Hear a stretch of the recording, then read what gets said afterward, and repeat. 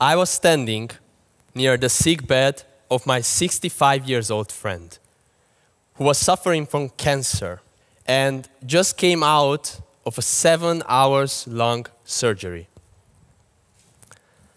I was looking at him and my feet started to shake.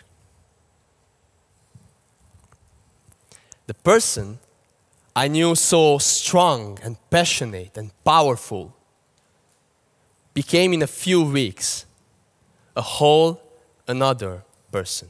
You would say it is normal nowadays for people at his age to get cancer. And the sad reality is that it has indeed become normal. This friend of mine isn't just any 65 years old.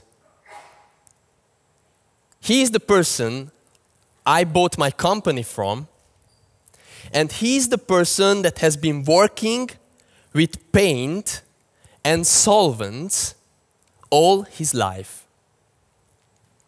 The doctors concluded that the most probable, probable cause of his cancer are the toxins that has been in paints and solvents he has been working all his life.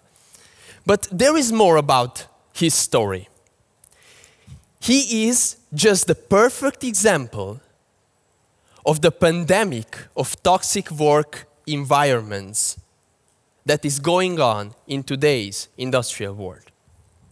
So I stood there near his bed, and I knew that my mission to keep people away from dangerous and toxic job environments is only starting. You know, according to a statistic that has been made by the International Labour Organization, over 2.3 million people die each year due to accidents or illnesses that are related to work. That's over 6,000 people every day. Insane. To me, these statistics are a clear signs that things have to change. Because as a humanity, we have faced thousands of years of progress that has brought us more comfort, more luxury, but left us with less time, less health, less energy, less time to find and connect with ourselves and to do exactly that what we love to do, who we are. So, I believe it is time that things change. It is time that we take people away, we take people out of the toxic job environments. And that's why industrial robots are here. So, my personal story with industrial robots started four years ago. Being in the painting industry, it's an industrial painting industry, I have visited factories after factories in Switzerland and Germany. Uh, in, and in these factories, people were painting. And as I watched these people working in these kind of environments full of paint, tired, with their masks on in a 30 degrees Celsius painting cabin, I watched them and I didn't understand how are these jobs still not robotized? Why are humans still doing these kind of jobs? Why do some of us have to work in these conditions? And the answer is actually really easy, and I believe you would say the same. Robots are complicated to program, and not anyone can work with them. Simple factory workers are not trained to program robots. They are trained to work with their hands, to create some, cre some, some quality through their expertise. But programming industrial robots has nothing to do with their expertise. So you see the idea of industrial robots or adopting industrial robots is many times rejected only because the people that should work with these robots, that are supposed to use these robots, are not able to, to work with them. Yet things are not so hopeless as they seem. Industrial robots are not so complicated anymore that they, and, uh, like they used to be years before. Because some manufacturers understood that if they want industrial robots to be mass adopted, if they want that people use these robots, they have to find a solution for them to be easily programmed. They had to find a solution in which the robot learns from the most skilled worker in the factory without him having to program all the coordinates.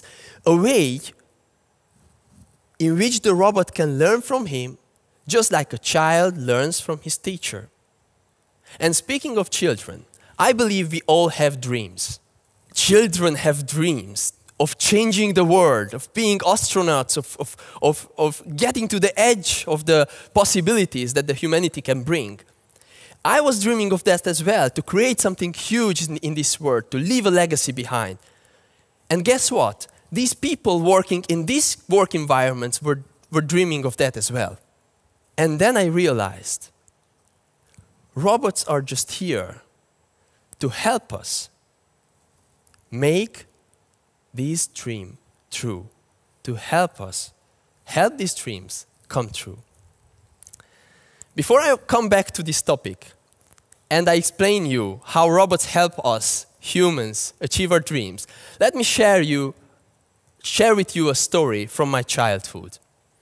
I grew up in a small village in Transylvania that has been well known for a traditional food, uh, rose hips juice. How many of know, you know rose hips jam? This is a really sweet, uh, good tasting jam. So these people used to go every autumn on the field and they would collect the rose hips. These are really thorny things. Um, after hours of collecting the rose hips, many times in rain, they, they gathered the fruits, they brought them home, they washed them for at least an hour, and then they boiled them in a huge copper cauldron for hours. After the rose hips were boiled and they were smooth and, uh, and, and, and soft enough, they took them out, they put them in a huge wooden pot, and they would take a huge wooden hammer and smash them until these rose hips became a cream. And here started the hard work. By this time, it, it, it was already evening. So then the people took this, this juice, this, this cream, and they pushed it to the very, very, very fine strainer. And this pushing of the cream through the strainer was essential because it actually separated the seeds from the juice and made it the jam. But it was not only essential, it was the hardest part of the work. So as a child, I was watching my mom working nights with these rose hips. And I remember after a rose hip season, my mom could barely move her arms. Her arms would, would, would be in pain. And I, I, I felt so sorry for her. So as I grew up, this tradition lived on, and it's actually living on also today. But then internet appeared in my life. And I believed, and I thought one day, what if there is a technology out there? What if there is a machine out there that helps my mom work easier with the rose hips? A machine that processes these rose hips without us having to break our arms, actually. So I went on the internet, and to my surprise, I actually found a machine that, do, that, uh, that does that. And we ordered the machine and we started working with them. And it was crazy. It was a change of paradigm for the entire village. Because the work that has been hard for centuries, the work that has broken my, the arms of my mother, has suddenly become cool. People could work easier, faster, they could produce more rose hips. And guess what? The prices didn't went down, but they went up, so they made actually also more money. I will never forget that experience because the same experience happened to me if we go back now to that factory environment when I saw these people painting in those working conditions. I thought, what if there is a robot out, out there?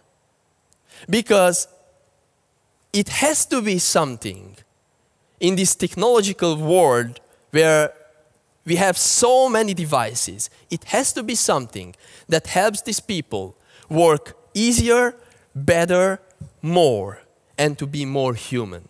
So I started searching after robotic technologies, and I actually found a technology that has changed the game in many other industries, and it's called self teaching robots. The idea behind it is that robot can learn the movements of the best skilled painter in a factory and just replay it to the millimeter. As a technology, it's, it's actually really simple. Each axis of a robot, we talk about a robotic arm uh, with six axes. Each axis, each motor of this robot has an encoder on it, and the painter would take the robot in his hand and move it, just like in a tango dance, and teach him the exact movements he is doing. So the encoders learn each movement left, right, forwards, backwards. And when you turn automatic mode on, the robot simply replays your movements. So for me, it was a revelation because these workers that can work with these robots suddenly could work in a totally another way. They do not have to stay in the environment uh, of, a, of a toxic painting booth.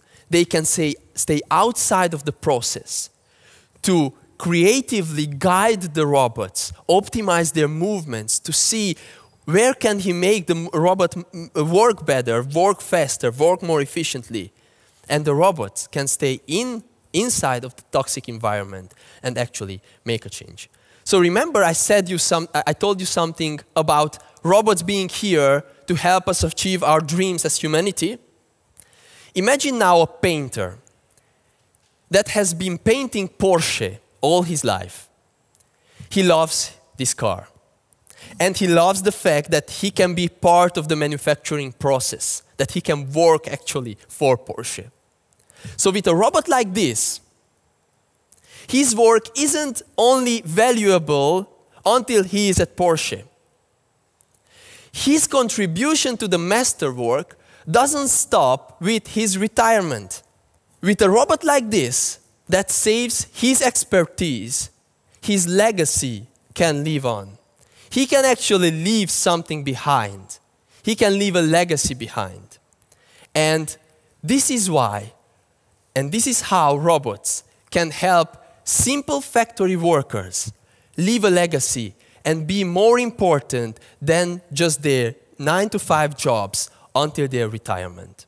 In the same time, started doing robots, we, we discovered that some jobs in a factory, like painting or welding, they are not, not a, a robotic movements. They are not just, just jobs. They are handcrafting. They are art. And how can you robotize art if not copying the artist? So in these kind of jobs, it really makes sense to work with self-teaching robots that can learn the exact movements of the, the artist.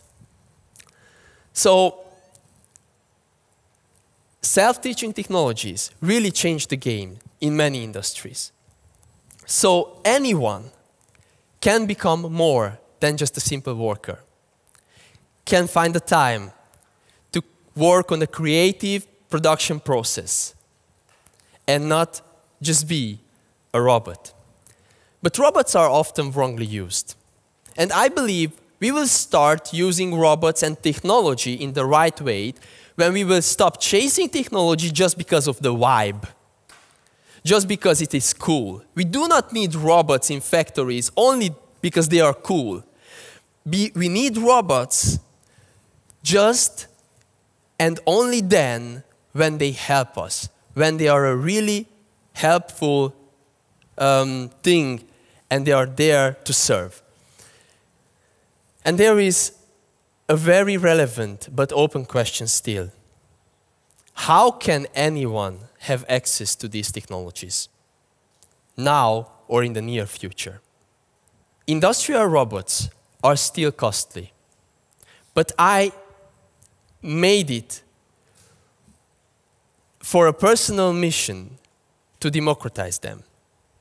Just like Microsoft saw a computer in every home or Apple a phone for each person, I see robots in every area of life when they can save people from hard, toxic, and alienating jobs that actually doesn't help the human spirit. There are many startups out there in Europe and in the US that are actually creating an environment that's called robot as a service, through which any company, any small company can have access to the highest technology robots by paying a monthly subscription that is mostly less than a monthly wage of a worker. And in the future, there will be more and more possibilities for pay-per-use robotic technologies or solutions or subscription. And this concept of robot as a service makes the acquisition actually of these industrial robots easier than ever before. So imagine if a simple technology or a machine like a rose hips machine could have changed the life of an entire village. Imagine how much more real industrial robots change the lives of thousands of factory workers working in unfavorable conditions. How many people can make a quantum leap in their lives? Not having to work in toxic job, not have, never having to get sick or even die from work-related illnesses. And how many workers can leave a legacy behind in this world, saving their very movements in these robots? The question is, how can you and me still be relevant in this new chapter of our world, or new technological chapter of our world? I believe the answer is simple. Just like Steve Jobs said, stay hungry, stay foolish. Because staying hungry and foolish inevitably pushes you toward education, toward searching after new, new technologies, new things that help, that, in, that, that lift the human spirit. And I believe this kind of mindset can create a world in which we do not have to be to stay connected only to the internet, but we can stay truly connected to ourselves. Finding time to be human again, finding time to be creative again, and finding a way to lift humanity to another level of being. And let the robots do the boring, repetitive, toxic, and alienated jobs for us. Thank you very much.